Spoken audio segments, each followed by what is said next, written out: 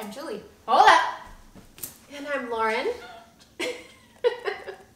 and this is Dwelling on It.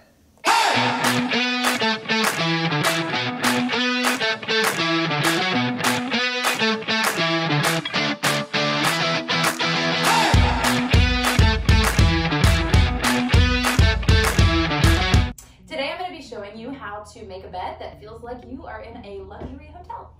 So today we're going to be focusing on layering pillows, layering fabrics, as well as texture through various fabrics and prints. Um, I prefer something kind of minimal here uh, that doesn't compete with everything. So it's just a nice little detail. So once you have your fitted sheet already down, we're going to put our top sheet on. I'm just kind of spread out my fitted sheet, make sure it's nice and smooth, no wrinkles, no wrinkles. Then we're gonna take our top sheet. Now one thing that a lot of people do, um, I say incorrectly, but for lack of a better word, is to, to put the top sheet on like they did their fitted sheet with the print side up. But we're actually gonna do that the opposite way. We're gonna face the print side down. So I'm gonna start by spreading all the way up to the very top of the bed. And then I'm gonna make sure it hits just at the floor where it needs to be even all the way around.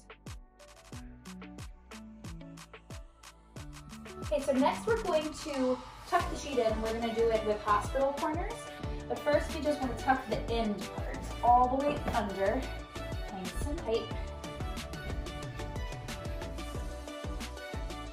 Okay, so then to get our nice tight hospital corner, we already tucked the end and now this is just hanging down.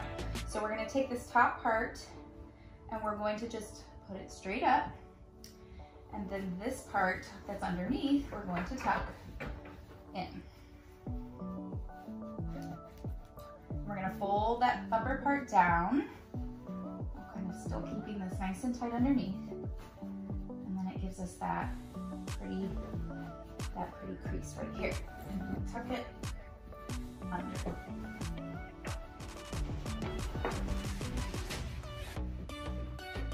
I'm gonna leave a fair amount out right now because in a minute I'm gonna be pulling this back and then we'll do a final tuck.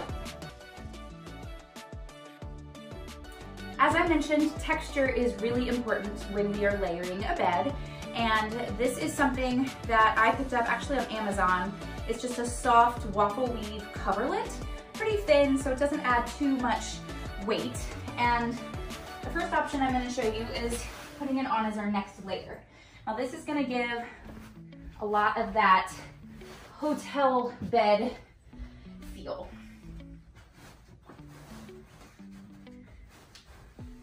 Now just gonna tuck it in.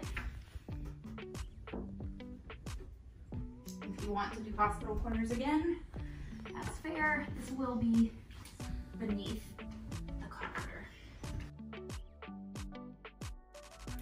next we are going to add the layer of either a comforter, duvet, whatever you use. Um, quick plug for Target, I got this duvet cover there. It's by Casaluna.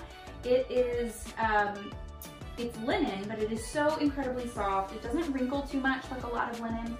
Um, but one of the things I love is that it has a zipper at the bottom instead of buttons, so buttons aren't popping off and pieces of, of um, you know, down comforter aren't sticking out.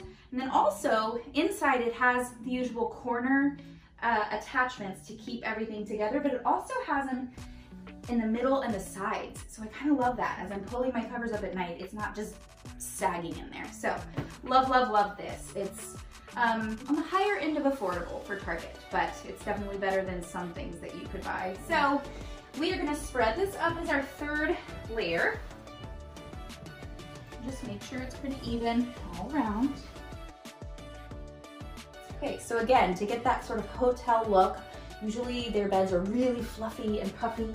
So we are gonna start by folding back the comforter. One time, and then a second time. So now we are going to fold back the sheet and the coverlet. This is why we originally put the sheet face down. So as we fold that back, I'm gonna come to the blanket.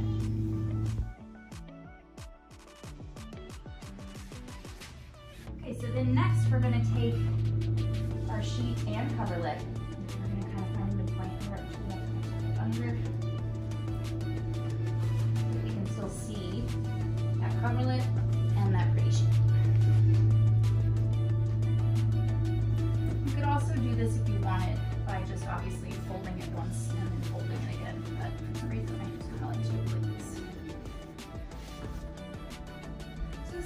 Kind of optional. Some people like to just let their covers drape down and that's totally fine.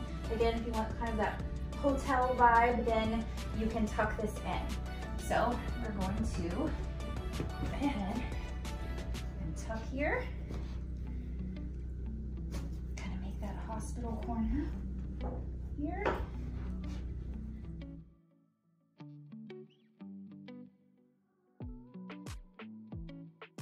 So now we're gonna start layering our pillows. I like to start kind of at the midline of the bed. I like to do two bigger ones in the back. These are actually longer or wider than a Euro pillow, but if I had a Euro pillow, which is a perfect square, then sometimes I do three of those on a king bed anyway. Come in, closer to that midline, midline, to the midline. Next we're gonna layer the pillows that we sleep on. Um, my husband and I actually don't like sleeping on king pillows. So we have a standard size pillow, but obviously with all king sets, or most anyway, you get the long um, pillowcase. So I just wanna show you a little trick that you can do. You can just tuck, kind of like an envelope, tuck the one side closest to you down into the pillowcase, and then that inverts the rest of it. And now it's nice and sealed.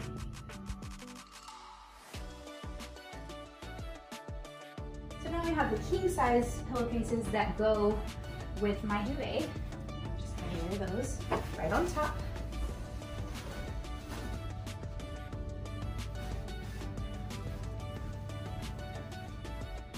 So I love a couple decorative pillows on top of all the other pillows, um, much to my husband's dismay.